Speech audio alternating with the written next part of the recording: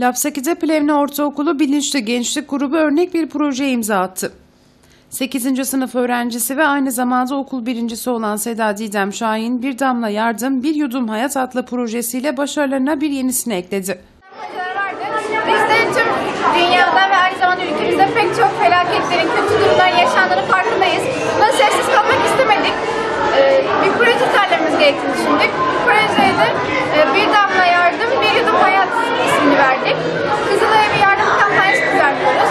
Kızılay İl Başkanlığı'yla görüştük. Bir kumbar aldık imza karşılığında. Herkes buna istediği kadar maddi yardım yapacak. Daha sonra yani 15 gün sonra Kızılay tekrar imza karşılığında bu kampanyayı bitirecek ve paraları teslim alacak. Kızılay'dan temin ettiği ayaklı kumbarayla okulda kampanya başlatan Şahin'e arkadaşları ve öğretmenlere destek verdi.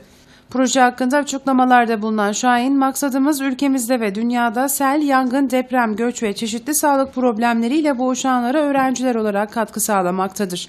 Burada karşılık beklemeden maddi yardımda bulunma duygusu kazanıyoruz. Bu sayede öğrencilere manevi katkı sağlanıyor. Proje için hazırladığımız afişleri uygun yerlere asacağız. Bilinçli gençlik grubu olarak bağış toplama görevleri belirledik.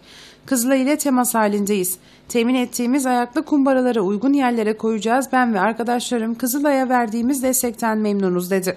Okul müdürü Kemalettin Kocaoğlu okulun akademik başarı olarak üst seviyede olduğunu dile getirerek öğrencilerin şahsi projelerine destek verdiklerini kaydetti. Bu gelişmelerin paylaşma ve yardımlaşma duygularına fayda sağlayacağına işaret eden Kocaoğlu mutluluk duyduğunu ifade etti. okulumuz e, akademik başarı olaraktan çok iyi bir noktada. Yani e, eğitim öğretime çok önem vermeye çalışıyoruz.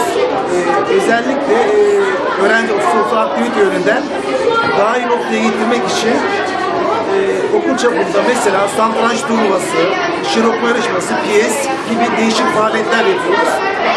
Ve bu son projemizde e, öğrencimizi özellikle tebrik ediyorum. Yani şu projeyle yardımlaşma, dayanışma, paylaşma duygularının gelişmesine faydası sağlayacağına, katkı sağlayacağını düşünüyorum. Ve tekrar tekrar çocuklarımı tebrik ediyorum. Biz de kampanya destek veririz okul olaraktan bütün öğrencilerimiz. Öğrenciler teneffüste sıraya geçerek Kızılay'ın kumbarasına para attı.